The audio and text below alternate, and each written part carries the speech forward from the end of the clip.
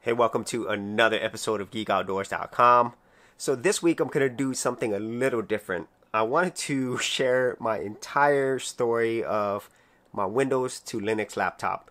Now, if you haven't seen any of my previous videos where I'm going through this whole journey of finding my Linux laptop, uh, you could check that out. I'll leave it in the link area below. But here, I'm going to give you the whole story, where I'm at, and why I think I actually found the quote unquote perfect Linux laptop for me.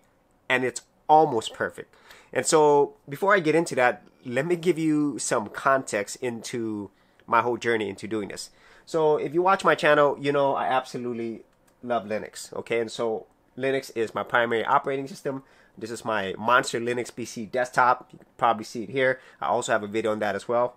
And what I needed to do was I actually wanted to upgrade my laptop because before all my laptops were older used Windows laptops. I bought pretty much all of them in like pawn shops. Okay, like this one right here. So I got this for like $150. It had Windows 8 on it, and obviously I put uh, Linux on it. So this has Linux Mint.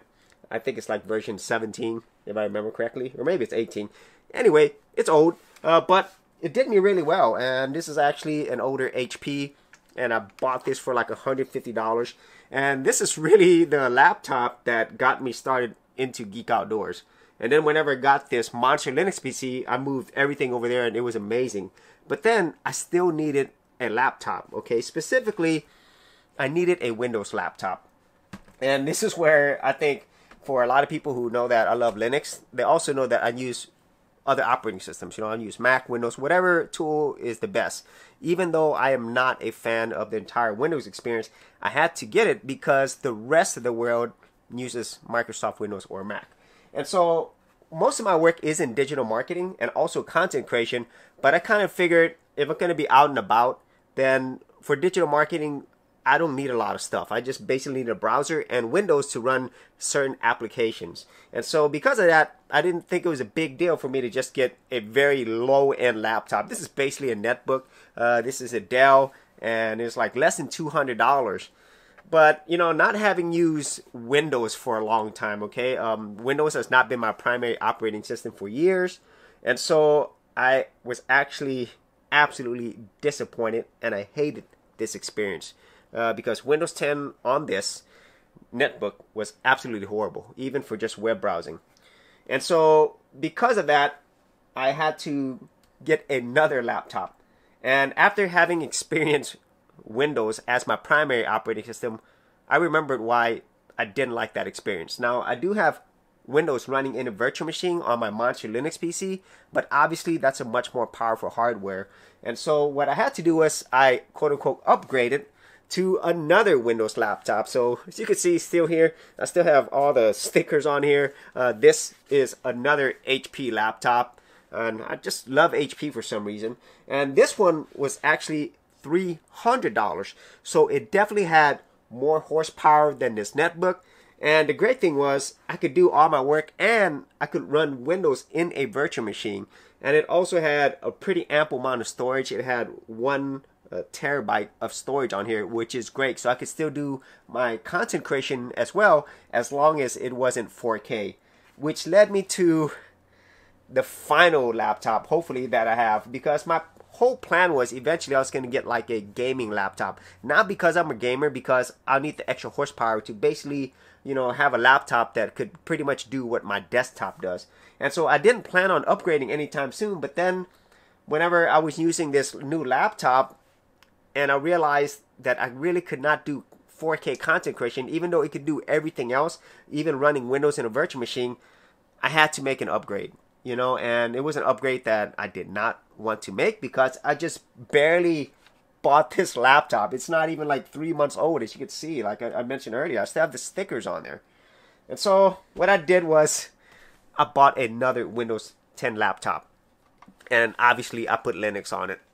And it's this one right here. Another HP laptop. And hopefully this is the last one that I buy for a while. And let me tell you why I bought this, okay? Um, since I do travel, I just really feel like I don't want to be limited by uh, you know my ability to not only do work uh, digital marketing for my clients and you know for my own self and also obviously my content creation stuff is huge for me and so by not you know being able to do 4k footage i really felt that was limiting okay and so because of that i made this particular upgrade and the thing is i did not upgrade this to linux right away and uh, as a matter of fact you know i actually was running this for a few weeks until recently. As you can see there, there's the stickers. I, just, I don't know why I, I got to point that out. it's not even been used. And so let me tell you my horror story, my Windows horror story uh, before I upgraded to Linux. So I was planning to upgrade anyway. Uh, but I've had this for a few weeks now, and Windows 10, the entire experience is much better than what I remember uh, in terms of compared to Windows Vista and things of that nature. But you know, having used Windows in a virtual machine, Windows 10 in a virtual machine, I kind of knew what I was getting into. Uh, and then there was a huge update. You know, Windows has a lot of updates, so there was a huge update that's happened this week. And after the update, my sound card no longer worked, or the drivers. I even downloaded new drivers, and it did not work at all. And so I had no sound on my brand new Windows 10 laptop. And just to let you know how much I spent on this, okay? So that one was like less than $200. I think it's like 150 180 somewhere around there. This Windows laptop was $300 and I paid $500 for this one. And so you can imagine just after a few weeks of having this, I had problems due to Windows 10 update. And the thing is, I'm, a, I'm not a noob. I'm a very techie person. And I couldn't even figure it out. I looked in forums. I just spent so much time and it reminded me so much of the Windows experience. When things happen, I just have to spend so much time trying to fix it. And the actual huge Windows update that happened took more than an hour and a half. Okay? And I even wiped out the entire operating system and restored it from, you know, the restore feature, recovery feature, and it still the sound would not work. Okay? And so that pretty much gave me the go ahead. It's time to go ahead and completely wipe this out and put Linux on it. And so that's what I did. And now before I get into that, uh, I want to show you quickly what this is, one is all about. This one actually has an Intel Core i3 dual core uh, processor. It has four threads. It has uh, eight gigs of RAM, which is excellent. And another thing that it has is, which I love, is that it has a lot of ports. You know, it's got all the USBs right here. It's got HDMI out, and it has a Ethernet connection. Thank goodness. And then even on the other side, it has something that I still love, an optical drive. So I still use those. And it has a, a full SD card slot as well. So a lot of features on here. And it also has a touchscreen, which works in Linux, uh, which is awesome. And the only thing that made it not perfect, okay, and uh, is something that I really wish it did have, um, because the storage on this is only 128 gigs, okay, um, and that's why it was almost my perfect Linux laptop because with the horsepower that I have on this and all the other features, all the hardware features, this thing pretty much allows me to do everything that I would do in my desktop, including 4K content. You know, and the build quality, everything is just so much nicer uh, than my other laptops.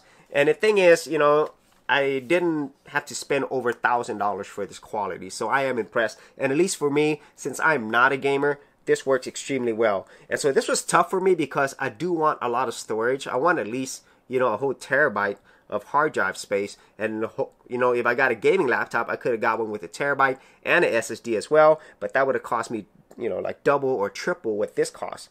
And so that was the only drawback that I had. And then in some cases, not a drawback because it is an SSD. And then running on Linux, this is extremely fast. And if you see here, uh, I also have there's Windows 10 running just fine. You know, runs really fast on here. You know, because it's got the 8 gigs of RAM, and at the same time, you know, it's got the I, uh, Core i3 processor. So it does everything that I need. Um, and so if it had like a terabyte of storage, it would have been perfect for me. And so that's my overall Windows, back to Windows, back to Linux, uh, purchasing more hardware than I needed journey. And, you know, looking back, I definitely could have saved a lot more money if I would have just bought a powerful laptop at the beginning. But on the flip side, um, I was able to learn a lot of things about the entire Windows only uh, experience that I haven't had for a long time.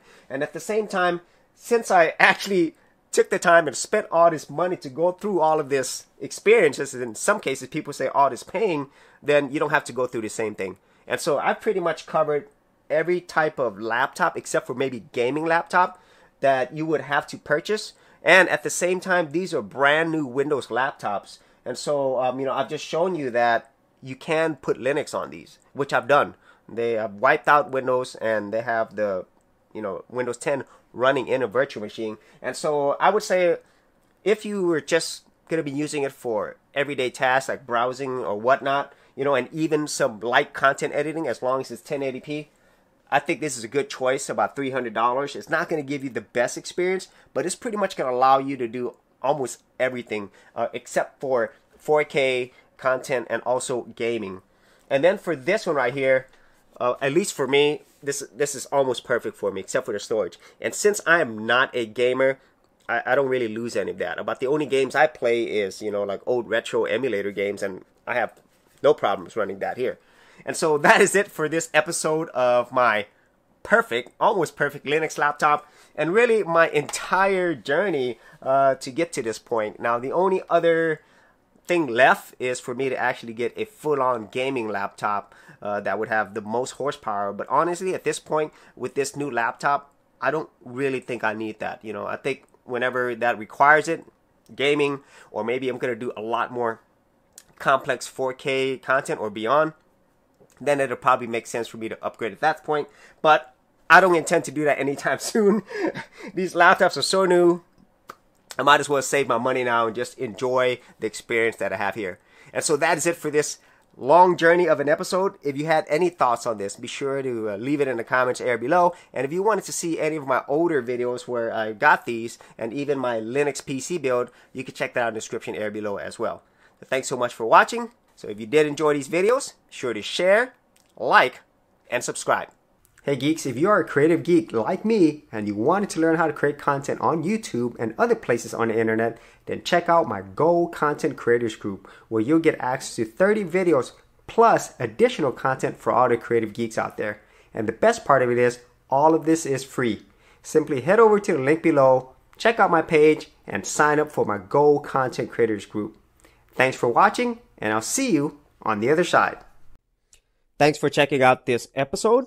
And as always, if you like these videos, be sure to click on the subscribe button. And for full written content, audio content, and additional geek stuff, head over to geekoutdoors.com and I'll see you outdoors on the very next episode.